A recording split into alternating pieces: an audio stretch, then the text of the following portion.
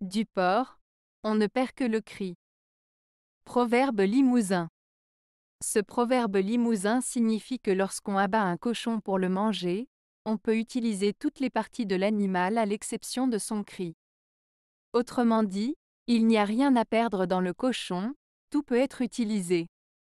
Le proverbe souligne ainsi l'idée de ne rien gaspiller et de tout utiliser à bon escient.